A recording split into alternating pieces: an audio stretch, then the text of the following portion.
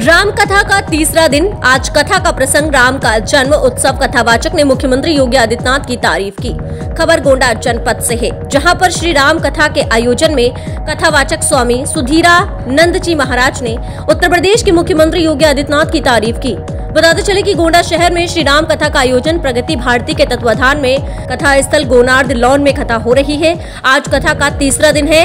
कथा में प्रसंग राम का जन्म उत्सव व्यासपीठ पर कथावाचक स्वामी सुधीरानंद जी महाराज कथा कह रहे हैं। कहा कि भगत सिंह पड़ोसी के घर ना पैदा हो, आपके घर में पैदा हो।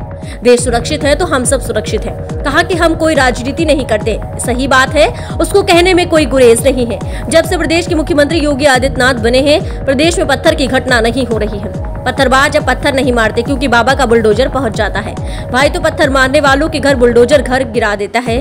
भय डर तो बना है। हम राजनीति नहीं करते हैं। भक्तों ने तालियाँ बजाई, कथा सुनने के लिए महिलाएँ, बच्चे सम्रांत व्यक्ति भक्तगढ़ भारी संख्या में रहे मौजूद। कथा सुनने आए डॉक्टर शारदा प्रसाद पांडे, महेंद्र सिंह, सोनी सिंह, एसपी सिंह विनोद शुक्ला, कथा में सहयोग doctor O N Pandey, doctor R N Pandey, Brajkishore Tiwari, Saroj Agarwal, सभी लोगों ने आरती के बाद प्रसाद का किया गया वितरण।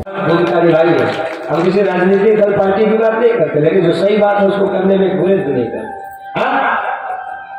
सुरक्षा और शांति यही बात है।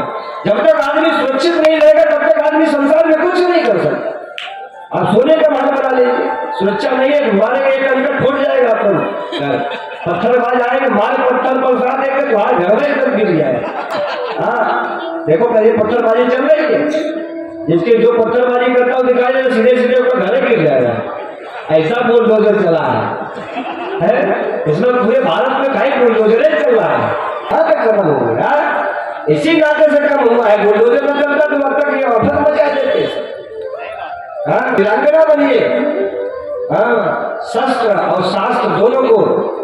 यद्यपि सब वैकुंठ बखाना विदित सब जाना।